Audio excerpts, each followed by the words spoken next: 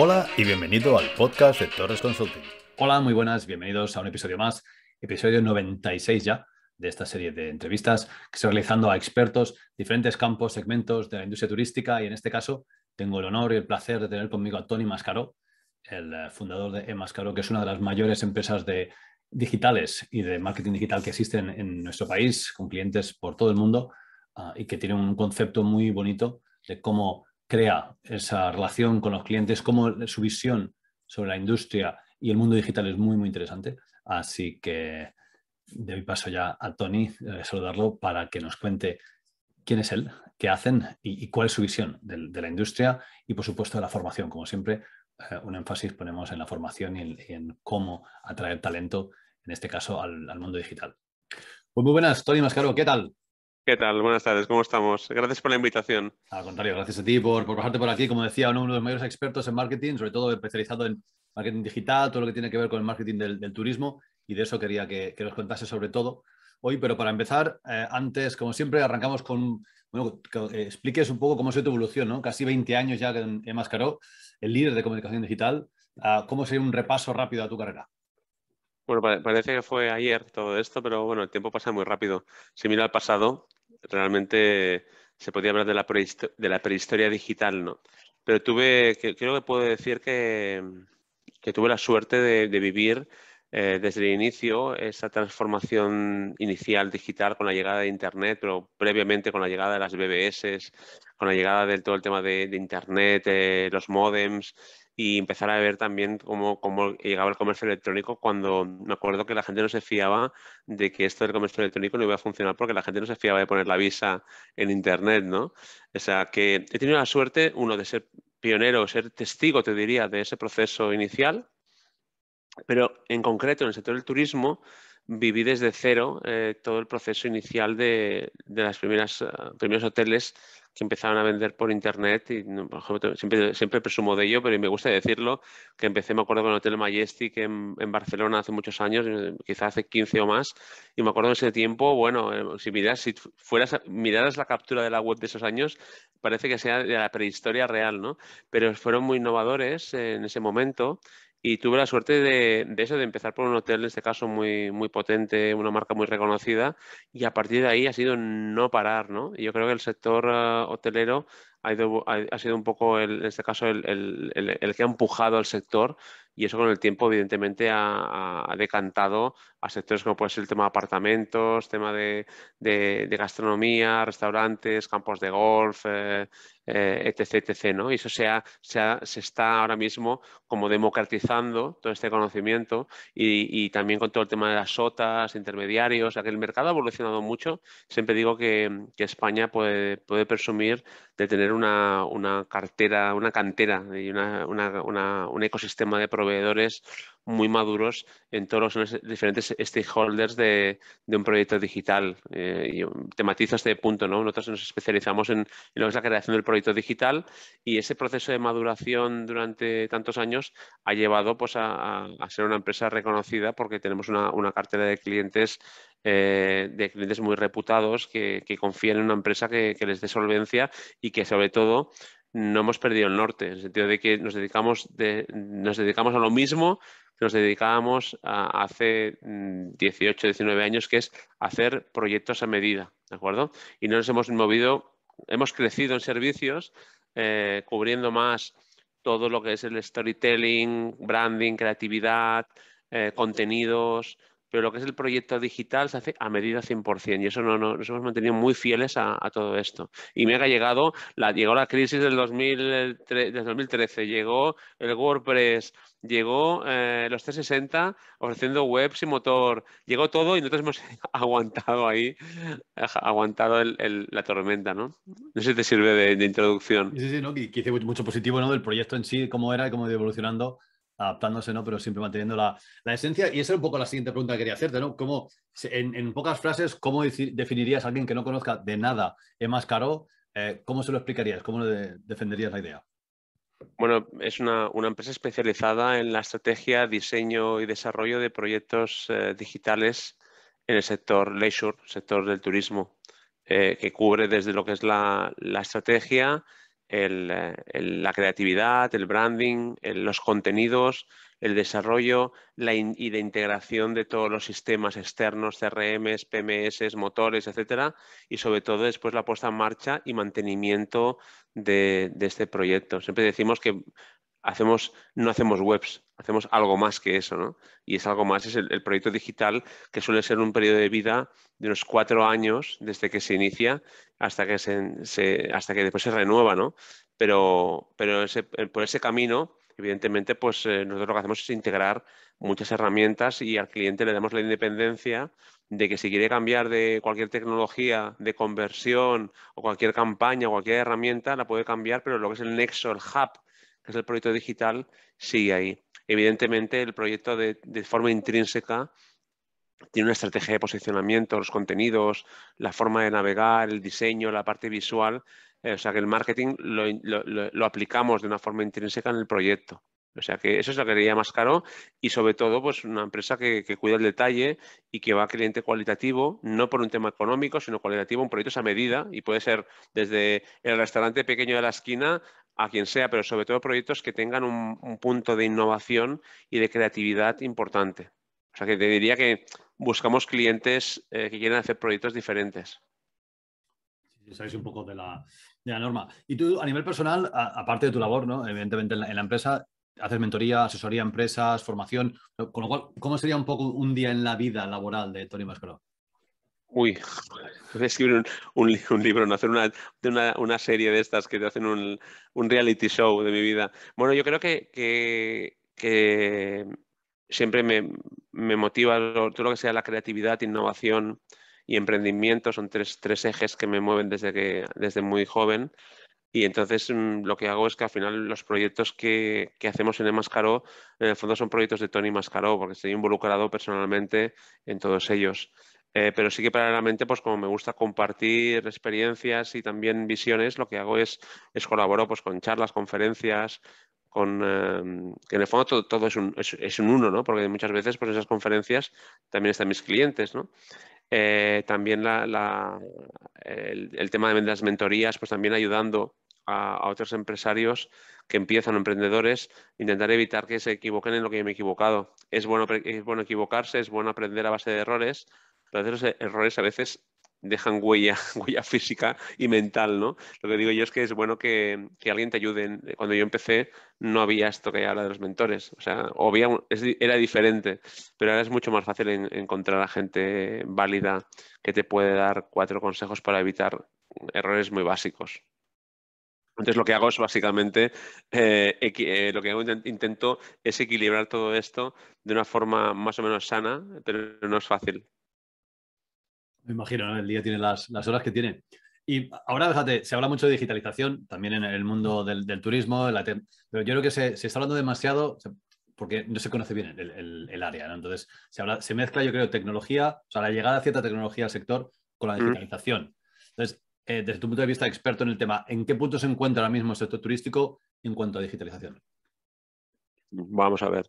Eh, el, sector turístico, evidentemente, es, eh, muy comparable a otros sectores. El sector, pero te diré que la capa, de, la capa de marketing, te diría, la capa de, visibilidad y de comercialización está muy avanzada, ¿de acuerdo? Hay un, nivel, eh, un nivel a nivel de los clientes que yo considero potentes, ¿no?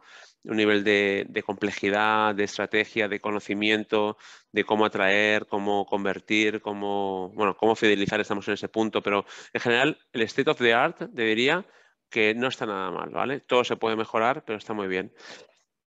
Eso sería la capa de pintura, te diría, ¿no? La chapa.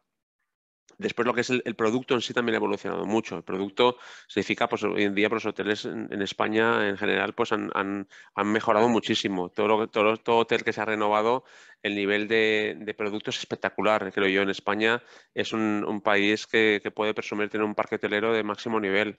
Eh, en todos los sectores, vacacional, urbano, bla, bla, bla, y poco a poco. Quizá te diría que empezamos por Barcelona en la época de las Olimpiadas, que eso obligó a Barcelona a ponerse las pilas y después eh, Madrid se quedó un poco atrás, pero después se, ha puesto a la altura y a nivel nacional, eh, todo a nivel vacacional, Canarias, Baleares, o sea, es un, es brutal, sinceramente. Pero sí que es verdad que la tecnología de todo esto, lo que son las tripas, ¿no? la gestión, hay un, terreno aún de mejora importante. Todo lo es la automatización, todo el tema de check-in online, todo el tema de, la llave electrónica, el tema de la, de la, del guest experience, el tema de CRM. Eh, y ahí te diré que no es un tema tanto de tecnología, por la tecnología ya está, ya no es un tema de tecnología, es un tema de, cómo aplicarla. te diría que es de talento justamente eso lo repito muchas veces en las conferencias y es el tema este. Al final, mm, yo siempre digo que hay una fórmula, que es la fórmula de un proyecto de éxito, ¿no? De, en turismo, tienes un buen producto, tienes un buen destino, ¿no? Tienes un buen proyecto digital, tienes un buen revenue, tienes un buen motor de reservas, tienes un buen marketing, tienes, pero sin el multiplicador de todo esto es la T de talento. Significa que por mucho que tengas un proveedor como más caro u otro muy cualificado, quien, quien ha de ocuparse de gestionar este proyecto es una persona que lleva el área de, de, comercial, comercio electrónico o digital. Y ahí es donde ahora mismo hay una problemática importante, encontrar, los clientes a, la hora de captar, retener, fidelizar, y no es un tema que no, tengo el secreto, no es fácil, eh, es la principal barrera. Ahora busca un director de e-commerce, busca un equipo de desarrollo, busca un buen tío que, y que esté contigo en el, modelo, en el modelo tradicional de que esté en la empresa pues más de tres o cuatro años, ¿no? Eh, ahora mismo en el mundo con las startups que hay, evidentemente la gente válida pues eh, no se va a quedar en una empresa más de un año. Entonces, bueno, es un tema delicado. De hecho, el turismo después de la pandemia ya tiene un reto de encontrar a gente para, para, lo que son los puestos más básicos, ¿eh? hablo. Pero aún aquí te diría que, que, hay un reto muy importante, muy importante. Es lo más complejo. Entonces te diría que, ¿cómo está? Está la tecnología ahí, la puedes coger si quieres y está a unos costes muy razonables. Se ha democratizado esa tecnología. Eh, hay herramientas SaaS brutales. No hace falta que hagas una implantación en, tu, en tus servidores. Todo está en la nube. Eh, hay muchas cosas. Pero ¿vale? Y, cómo hacerlo, ¿no? Cómo gestionarlo y de qué forma aplicarlo eh, de una forma personalizada en todo el, customer experience de mi, de mi, de mi producto, ¿no? En, el, en, el, en la etapa de, de, consideración, decisión, de, de conversión, del durante, el post, fidelizar, segmentar. Y claro, y de repente de todo esto, ahora nos empiezan a hablar de machine learning, ¿no? De inteligencia artificial, ¿no? O sea, entonces, al final, es como la época de, la web 2.0, ¿no? Como acuerdo que de repente hubo la, la, moda total con el 2.0 y yo siempre decía a los clientes, primero haz bien el 1.0 y después empieza con el 2. Pero primero haz el 1. Significa que funcione la página, que reserve, bla, bla, bla, ¿no? Entonces, estamos en ese punto ahora, que ahora el, 2.0 de hace 5 o 10 años es eh, el, tema de inteligencia artificial. Y ahí vas al reto, ¿no? Como dices, de cómo dar ese paso con los, encontrando esos, esos perfiles. Eh, revisando tu, tu, web, hay un, concepto que has acuñado, una propuesta. Hablas de que el turismo debe evolucionar hacia el leisure. Y bueno, teniéndote aquí, me gustaría que explicases ah, qué quieres decir con, mm. ese concepto. Claro, ¿qué, qué estoy viendo, no? Y es una reflexión, creo yo, que mm, gracias por la pregunta, porque mm, la reflexión es interesante, creo yo.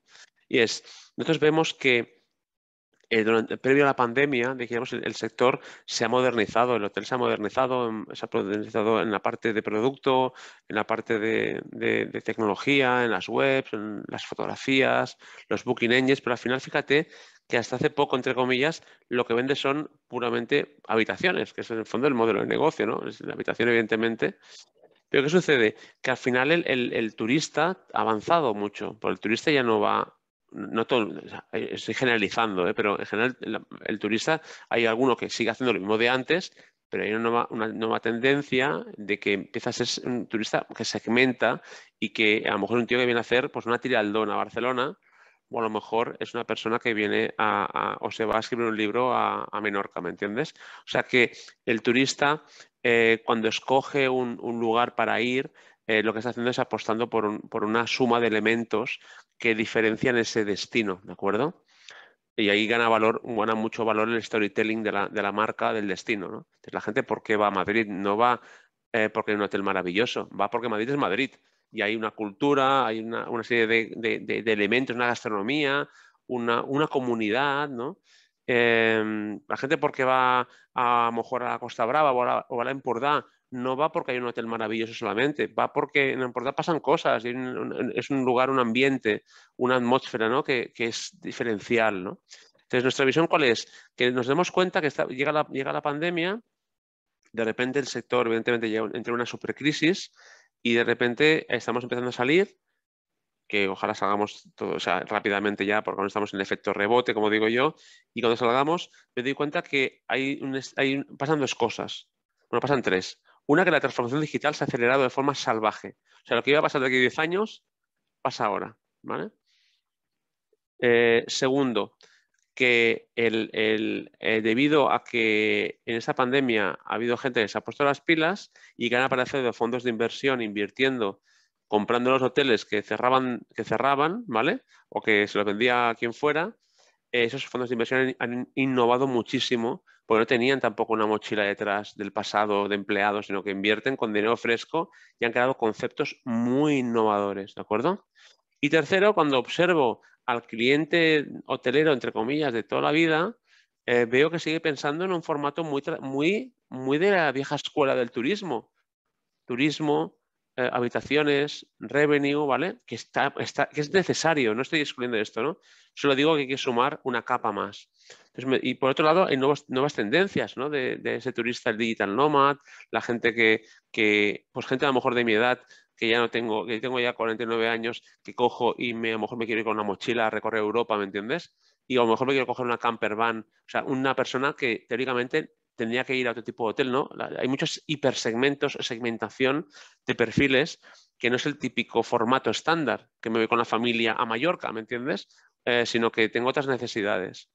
Entonces, lo que veo ahí es que sí que ha habido algunos clientes, algunas empresas que han sabido incorporar ya hace tiempo un storytelling más basado en la experiencia, más basado en, la relación holística entre los stakeholders y crear un, un mensaje, un mensaje eh, que sea, que, sea que, que, potencie el destino, que potencie lo que vas a eh, poder experimentar y que cree paquetes o que cree, que cree experiencias que no sean las típicas que se pueden comparar en Booking, porque Booking no va, a no va a venderlo esto, Booking vende habitaciones, ¿me entiendes? Y la gente al final compara habitaciones, pero si tienes un pack romántico, tienes un tema de, un, de, un, de una escapada al, para hacer eh, un entrenamiento para el tiralón de, de Barcelona, ¿me entiendes? esto son paquetes o son historias.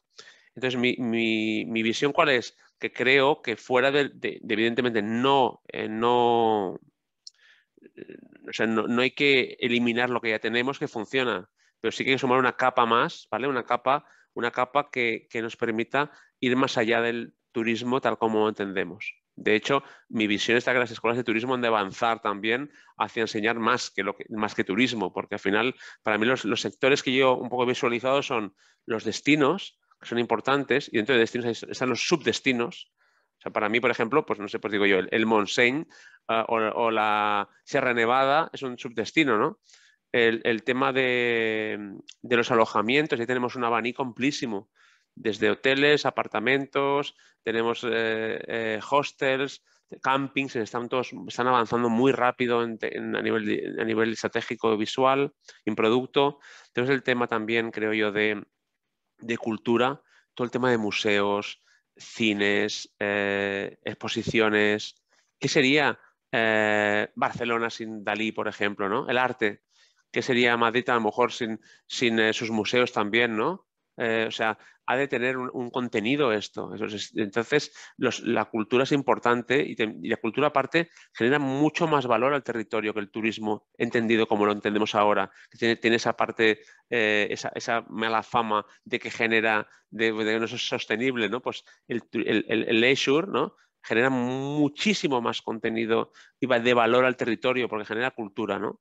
El tema de, de deporte, muy importante. Cada vez más la gente viaja, hace deporte, el tema de campos de golf, eh, natación, bicicleta, el tema de, gastronomía, súper importante, la restauración, los mercados, por ejemplo, eh, el tema también de, de lo que mm, es el tema de salud y wellness, también muy importante, eh, relax, eh, meditación, yoga, spas.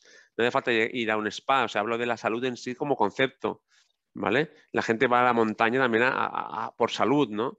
La, parte también de, shopping, de tiendas, muy importante también, sobre todo en destino urbano, pero también en cualquier destino. La gente quiere llevarse recuerdos, hay que potenciar ese punto y ver cuando te vas a Menorca puedas comprar cosas que pasan ahí, ¿no? Ropa que hay ahí, eh, el, legado de cada, de cada uno de esos destinos. También vemos que la parte de, de maíz es muy importante, también porque al final la gente no se va a un congreso de cardiología a un lugar donde no pasen cosas, ¿me entiendes? O no se va a un congreso como el mobile a una ciudad donde no pasen cosas.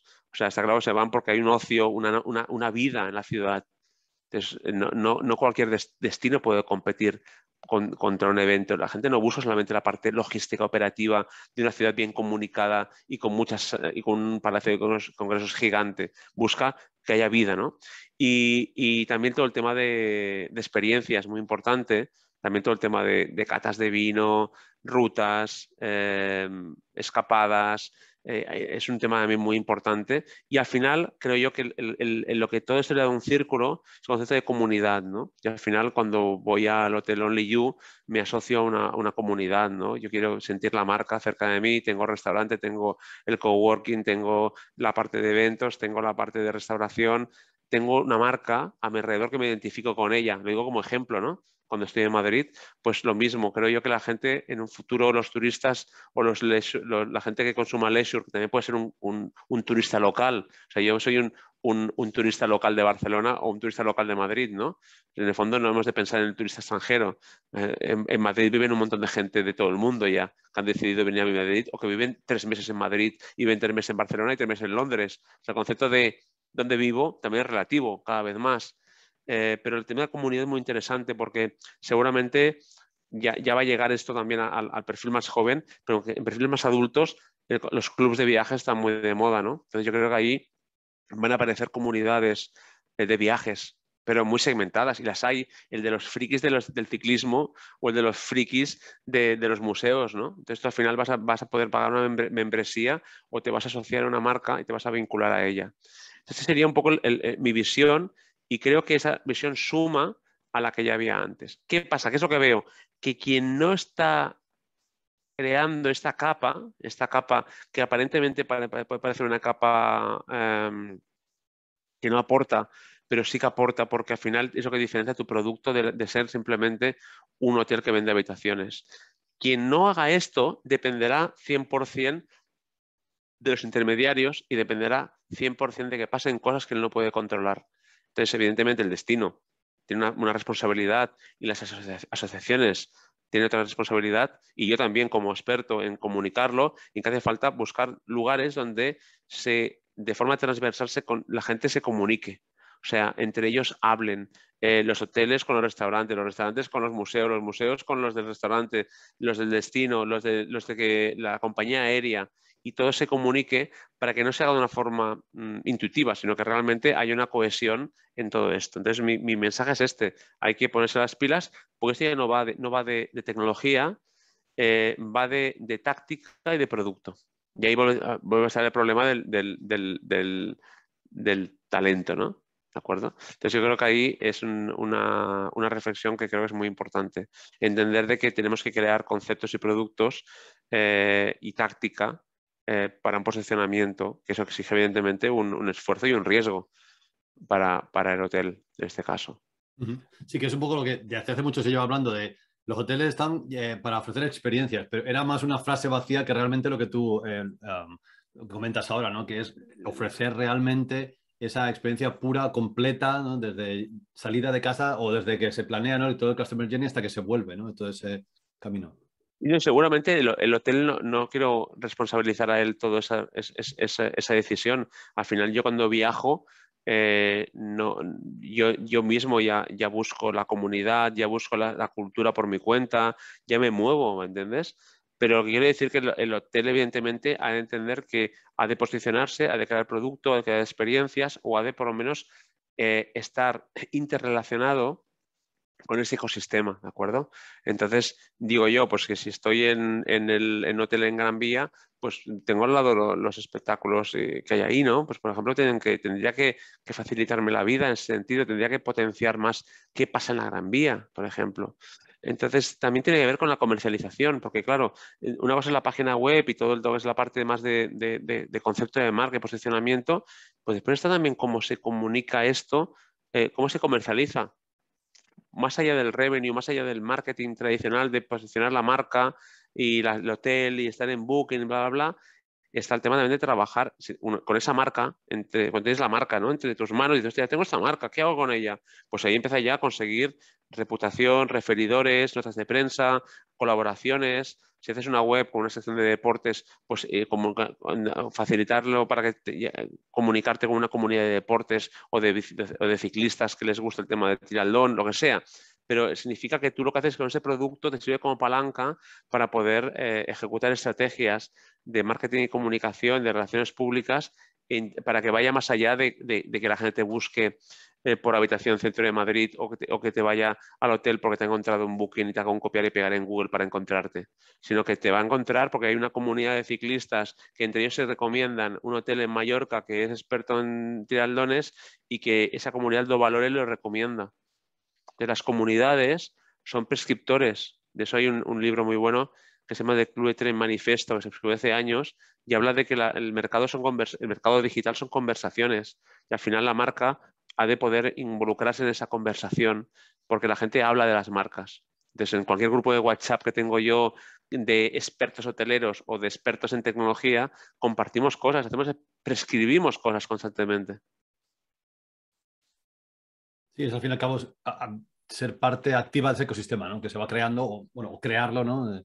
Proactivamente para, para estar ahí, ¿no? Y que esa interrelación que, que, comentas. Decías antes sobre el tema de la tecnología, diferentes capas, ¿no? Una es lo que se ve, la web, luego está la capa de tecnología que está debajo, y tú mismo has dicho, ¿no? Que cada vez está a precios más asequibles, pero es verdad que no todo alojamiento, no toda empresa del sector ha dado el paso eh, tecnológico. ¿Qué, ¿Qué, les frena? ¿Es una falta de mentalidad, falta de presupuesto, ambas? Mm.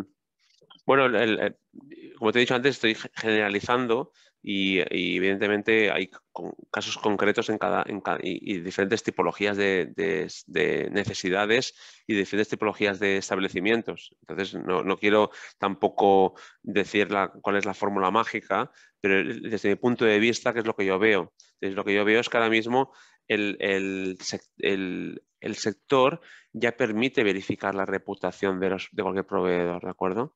Significa que con el tema de, la, pandemia también ha sucedido que, como dice la frase, cuando, cuando baja el agua se ve que no lleva bañador, ¿no? O sea, quien no aporta valor en el mercado en el que estamos, a día de hoy está condenado a desaparecer. Me sabe mal decirlo, pero es así. Quien aporta valor, puede ser un valor emocional, ¿eh? pero valor. Entonces, antes ya se ve muy rápidamente quién aporta, quién aporta. Significa que al final, hoy en día, la hora de escoger herramientas, ya están. Es que infórmate, ya hay expertos, ya hay reputación, ya hay forma de validar si ese sistema PMS, ese sistema web, ese sistema lo que sea, funciona o no funciona. Llama a tus colegas del mercado, verifícalo, ¿vale? Entonces, la tecnología está ahí. Ahora mismo en el mercado hay tecnologías, por ejemplo, pues, de PMS, hay 10 CMS o 15 muy buenos, hay chats muy buenos, hay CMS, bueno, hay webs, hay más caros, hay más como más caro en el mercado también, puedes verificarlo. O sea, nos conocemos todos. Entonces, al final lo que yo creo es que, o por ejemplo, motores de reserva también. Entonces, al final es cuestión de confiar en los expertos y pensar que, y ser consciente de tu realidad cuál es tu realidad como empresario, bueno, como, profesional.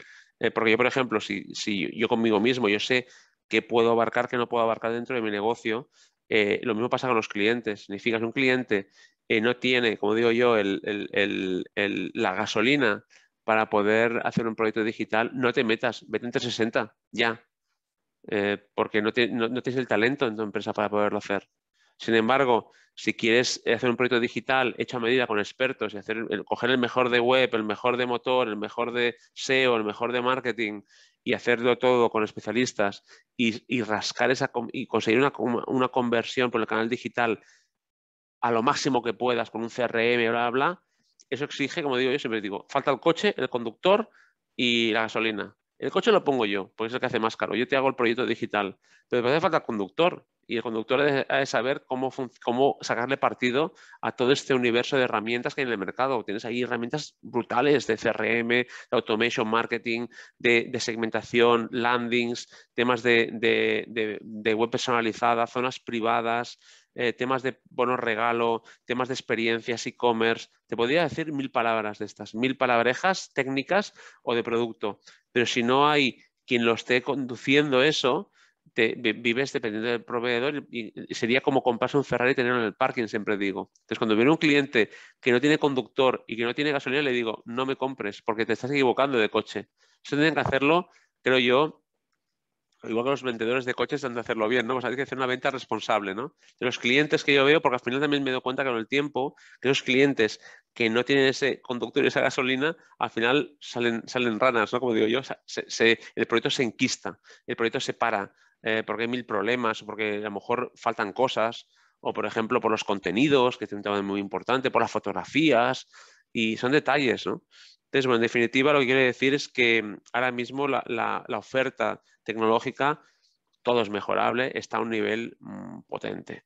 Eh, pero creo yo que hemos dado un back to the basics, que es hacer las cosas básicas muy bien hechas por ejemplo, no comprar un CRM sin tener una filosofía CRM, por ejemplo. No hacer una web sin tener la, sin tener la estrategia. No hacer los contenidos sin, tener la arquitectura de la web, ¿no? Son cosas así muy básicas, ¿no? Pero entonces, eh, eso ¿qué va a suceder? Que, eso va a provocar que quien no madure en ese sentido, pues se va a quedar o estancado o se quedará dependiendo de externos que por, hacer el trabajo que él no puede hacer, le cobrarán un variable. Y es así, de, la vida. No puede serlo todo. Sí, sí, la importancia del, conductor de gasolina. Eh, que vuelve un poco, a, y vamos a ir cerrando, con el tema del talento, ¿no? Ha dicho, es muy difícil, hay poca gente formada y la, que vale, pues eh, se, pelean por ese talento. ¿Qué puede faltar en el tema formación? ¿Es un tema que falta en escuelas? Eh, ¿Es un tema de formación específica? De interés por parte de la gente joven o estudiantes en entrar en ese mundo, ¿qué, puede ser que falle? A ver, la, tengo, tengo, quizá una pequeña visión sobre esto, pero digo, un, consejo final, pero te diré que no es un problema de que, de que falte formación. Formación, perdón, te diga, hay de todo ahora mismo. Está desde la, desde la vieja escuela, que está ahí, universidades, desde escuelas de negocio que hacen su máster digital, desde temas online, o sea, oferta, te aseguro que sobra. Cada uno evaluará cuál es la buena, pero sobra formación, ¿vale? Y encima subvencionada, patrocinada, con ayudas, ¿vale? O sea, la formación, para mí, evidentemente, todo de mejorar y han, formado, han, mejorado los formatos digitales y hay que, hay que ver, las universidades tienen que hacer un cambio también de mentalidad, pero el ecosistema de formación, wow, hay cosas muy interesantes. Pero la mayoría de gente que conozco en formación, hostia, le faltan alumnos. Hay mucha oferta ahora mismo, ¿vale? ¿Pero por qué? Entonces el problema no es tanto la formación, sino creo que la formación es el, yo, digo, perdón, el problema no es la formación, es el talento. El talento no es formación. El, formación, el, talento es gente válida, que evidentemente tiene formación, pero el talento es persona que, realmente mm, son, son, cualificados y tienen sentido común, tienen, tienen conocimientos, tienen actitudes y aptitudes. Eh, es una, suma de elementos. ¿Y qué pasa?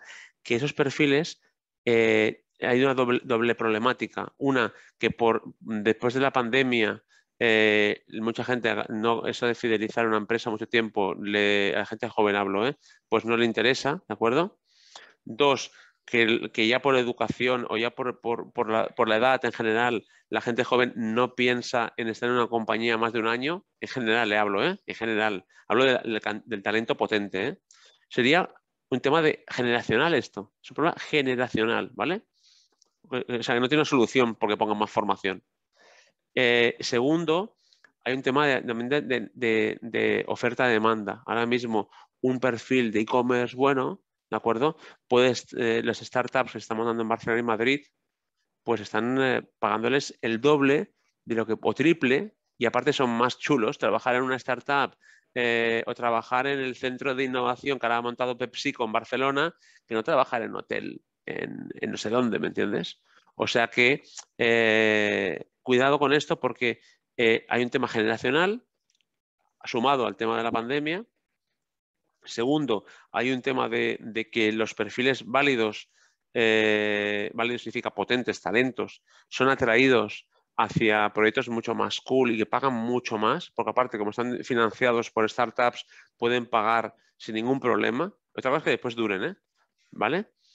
Eh, y, como último, es el tema de, que el sentido mm, de, profesión, te diría, el profesional del turismo, ¿no? que ha vivido el turismo, le gusta el turismo, lo vive desde, desde la base, ¿no? Es una. Eh, cada vez considero que hay, hay menos, ¿vale? Entonces, no es fácil, todo esto es un, pastel complicado ¿eh? ¿eh? de ver. Entonces, ¿qué, veo ahí? ¿Qué cosas veo? Veo que evidentemente esto puede cambiar, este tema generacional puede cambiar porque esta burbuja, te diría, que hay una parte que genera valor, el tema startup es un tema que genera mucho valor, pero también genera mucho ruido y genera mucha, mucha gente que, lo intenta, se equivoca, ¿no? Y vuelven, y al final van a volver al mercado, al mercado normal de alguna forma, ¿no? Entonces, esto va, este proceso va a madurar, te diría. No es que vaya a cambiar, va a madurar seguramente el, mundo se va como a, a sentar en los próximos años. Y segundo, que es que que sí que hay una oportunidad de formar al talento interno, ¿de acuerdo? Y ahí sí que hay un trabajo muy interesante, que es coger, primero partiendo, por el director general, ¿eh? Hablo. El director general, y yo creo que ahí pues hay, escuelas de negocio que, y escuelas digitales que tienen másters que lo que hacen es reciclar y reposicionar este, en el nivel digital a este director general. Entonces ahí creo que el, director general a, es acaba de dar ejemplo y después mm, tienes a gente en, el trabajo con antigüedad, gente que está en, el hotel o en el establecimiento o muy fidelizada a la marca, que con una buena formación se pueden convertir, eh, son mucho más eh, productivos que alguien que venga de fuera. Entonces yo creo que ahí hay un tema de formación eh, directiva y segundo hay un tema de, de reciclaje o de localizar los talentos que hay dentro de la empresa para potenciarlos y hacerlos crecer, crecer dentro de la organización. O sea que es la, única luz que veo en, todo esto. Sí, sí, sí. Pues vamos a animar a, ese talento joven. Última pregunta que tengo para ti, que es el, hecho de esa gente joven que esté ahora, vamos a decir, de 18 a 21, que esté pensando en qué camino seguir a la hora de, su formación eh, eh, académica ¿no? superior. ¿Cómo los invitarías o cuál sería tu recomendación, tu, consejo para que entren en este mundo del marketing digital? Bueno, em, vale. Primero que la palabra marketing digital te diría que la matizaría, el mundo digital, ¿vale? Porque el mundo del marketing digital tiene una serie de, eh, tiene un contexto diferente a otros, ¿no? Pero en definitiva, el mundo digital eh, creo que hay que, por un lado, hay que redibujar o repintar el concepto de turismo, creo que el leisure es mucho más atractivo porque junta mucho más cosas, ¿de acuerdo? Eh, creo que por, mala suerte o porque somos así en España, el turismo no ha sido bien tratado, bien considerado como se merece, ¿de acuerdo? Em, y creo que hay que dignificarlo mucho más, ¿vale? Entonces yo creo que si se hace esa dignificación eh, y se entiende que el turismo es un trabajo y eh, un, una área muy importante para, para, España y para su PIB y que puede generar valor realmente, todo el tema de sostenibilidad, todo el tema de leisure que te he comentado, cosas muy potentes, temas de software, bla, bla, bla, ¿no? Eh, entonces todo eso creo que es importante en cómo, en cómo conseguimos una, reconfigurar el turismo, hacerlo más atractivo y después a ampliarlo a más cosas que no sea simplemente eh, el, sin querer entres a, lo que es el establecimiento. ¿no? Hay un universo ahí. Están los destinos, están los contenidos, están, hay ramas de especialización muy interesantes. Todo el tema audiovisual, todo el tema de, también de Big Data, de Machine Learning, de inteligencia artificial, de tecnología. Y también hay startups muy interesantes. Yo creo que, yo me, quiero enfocar mucho en lo que aporta valor, ¿no? El, efecto, la ley de Pareto, ¿no? ¿Qué es lo que yo haría? Cuatro cosas que haría. creo yo que hay que reconfigurar y hay que dignificar el sector. Y a partir de ahí, todo llegará, ¿me entiendes? Poco a poco. eh, llegará y hay que dignificarlo. Y para eso hace falta eh, ponerse las pilas y crear contenido más allá de lo, de lo que ya consideramos que es ese concepto de ocupación, revenue, habitaciones y el turismo más de, otra época. Hay que, evidentemente, llenar habitaciones, ¿eh? pero que todo esto no es lo mismo con, un contenido que sin contenido. Entonces, yo creo que ahí hemos de trabajar el storytelling de la marca turismo. Por eso Leisure intenta, creo, creo que es mucho más interesante de forma holística como atracción. Pues nos quedamos entonces con ese mensaje, ¿no? Darle el, toque holístico a, la experiencia completa, ¿no? El, el como tú lo, defines como concepto. Tony muchísimas gracias de nuevo por tu tiempo. Ah, Muchas gracias, ha sido un placer y gracias y felicidades por tu, trabajo y aportación al sector. un placer. gracias. Gracias. Esto ha sido todo por hoy. Espero que te haya resultado útil. Tienes más información en mi web www.torresconsulting.co.uk LinkedIn, en YouTube y en Twitter. Saludos y hasta la próxima.